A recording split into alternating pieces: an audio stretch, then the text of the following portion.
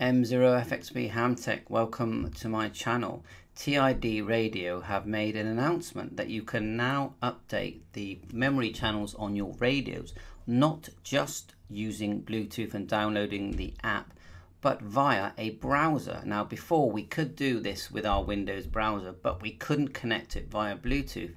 They've updated this and I've just done it now with my TID Radio H3 and my H8 but if you've got the adapter that you can see here, just on the right hand side, and they're only about £15, you can add it to most radios. And I'm going to test it on my Baofeng soon, but let me just show you what I just did. So if you look here on the main software, at the top we click where it says Bluetooth. Now it's already found my radio.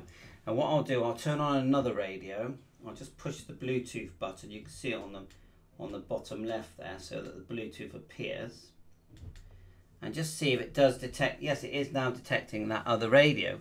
I'm going to also test it with my with my my little adapter that you can see. I'll just show you it there. Excellent little device. I'll just leave it there plonked on the down there for now. Let's do the H3 first which is really my personal favorite of the H3 range, the little small dinky one there that you can see. So to turn on the Bluetooth on this device, you just press here the blue button, just here, nice and easy. On the TRD Radio H8, you press the BL button. So I'm actually going to turn that off because we only want to do one at a time. Then we're going to go connect here at the top and it is already paired. So you would just normally press that and click pair and you get the the logo turns blue from a sort of whitey grey colour. Then you need to select your the radio that you're actually using. So let's find it. And remember, when you log into your account, and you do, you know, you should create an account for this because it's going to remember everything you do. These are all my previous uploads, downloads, etc. You can just go to model list, choose the one that you're on. We're on the TID H3, so let's find that. H3. Now there is a, a variety of H3 types because you've got ham and GMRS. We're just going to choose that one for now. Is it there? And then we're going to click the box here on the left, tick it,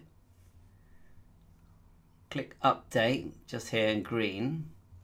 And when it loads, we get some new selections at the bottom here. Just let it load. And one along the bottom here,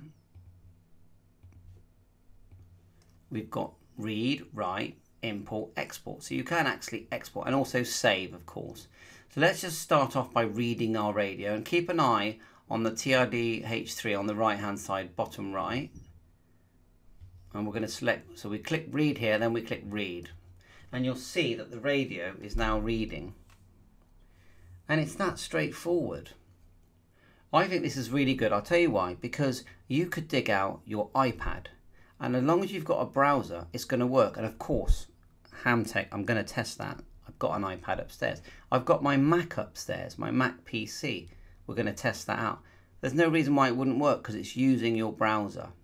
Now this is currently, I think many items that I use have, have gone down this road of using a browser rather than you having to download things. It saves memory on your PC and it's just convenient. Even my my um, when I update my Quansheng radios. There's I use egzumer and he uses a browser. So okay, let's just disconnect that Bluetooth. Okay, disconnect it. Menu. Just by pressing the blue button. Now I love the little TID because it, it, this one does have airband and that's what I like about it. Maybe the newer models. Let's just come out a minute. Menu. We just have to come out of our menu. Menu. We are going to get there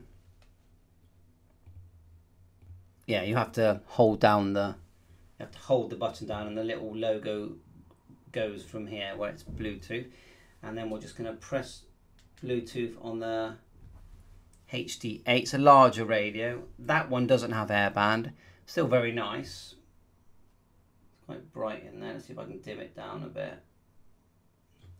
Looks a bit nicer. So let's do a search. So we're going to go Bluetooth. We're going to see if we can find, there it is there. Now it's already paired one.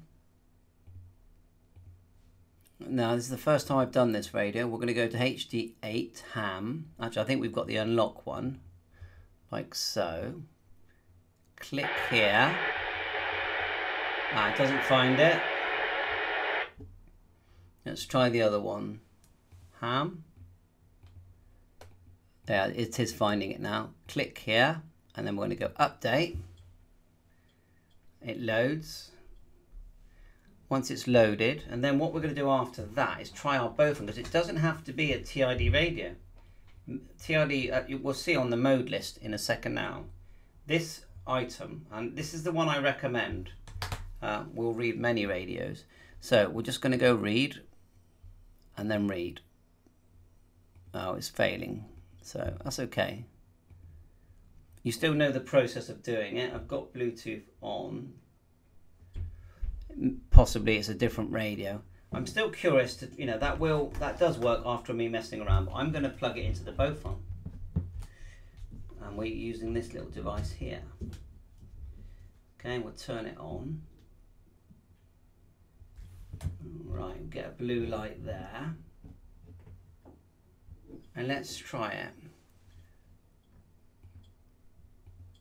So we're going to go Bluetooth. I'm going to turn the other two off just so we don't confuse things.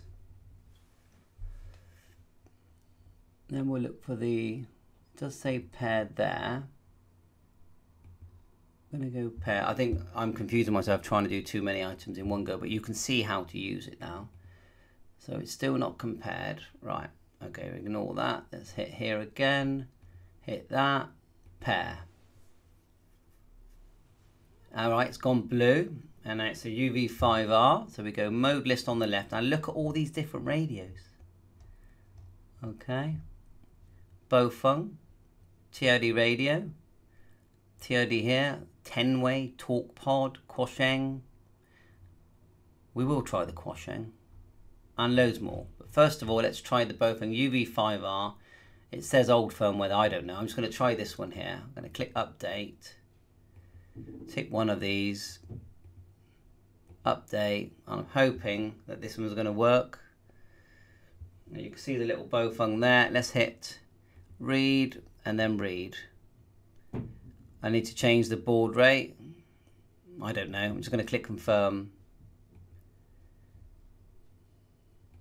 Yeah, so it looks like I'm going to have to go in and start playing around with the settings. But I don't want to do that now, not during this video.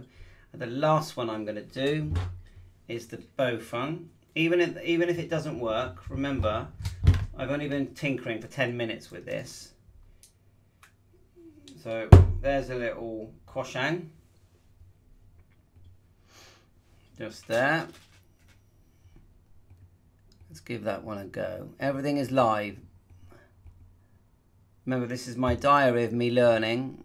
I'm not actually teaching, I'm just doing it myself, playing around and hoping that you guys and people, uh, you know, men and ladies, um, get something from this. So we'll go mode list again. This time we're going to go down to Quansheng UVK5 model. Okay, there's one there. That'll do. We're going to go update. It could be that we should have read from it first rather than selecting an old radio. So we're just going to try it anyway. So, wonder why it's not giving me the option to read model name. Ah, it's not connected, so we need to pair. Yep, like so, pair. It says paired. We're going to go read. Is it on? It's not letting me do it. Try again. Read. Read. Confirm. So it looks like really we got we've got to go in there and start changing the settings in the baud rate to read those the radios that are not TID radio. But I think that's enough for a video. I think it's made it really obvious uh, that you know once you've got your settings right, you can read using your PC. You don't have to use the app. Thanks for watching my YouTube channel. Bye for now.